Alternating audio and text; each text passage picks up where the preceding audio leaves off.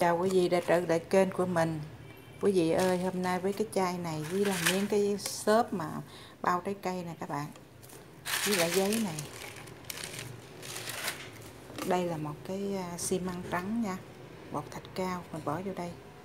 Đặt một lát đây, cái cây này mình ghim vô.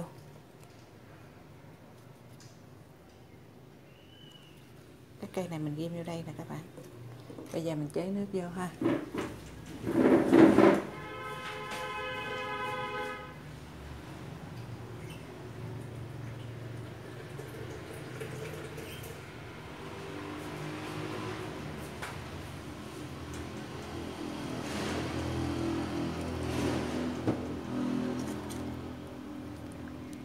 Cây này này quẩy này các bạn. Quẩy nha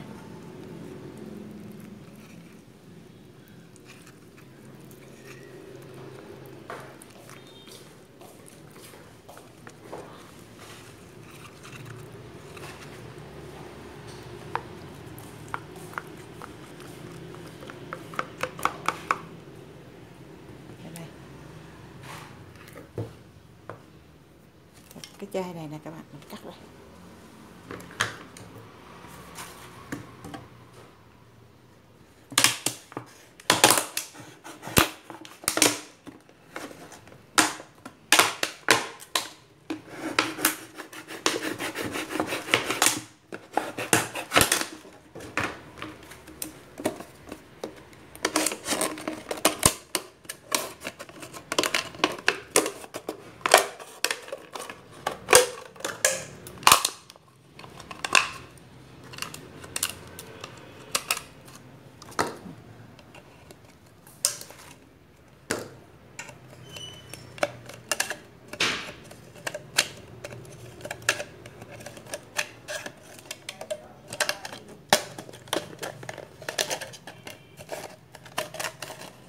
mình bỏ bớt một một đốt một lớp nha các bạn.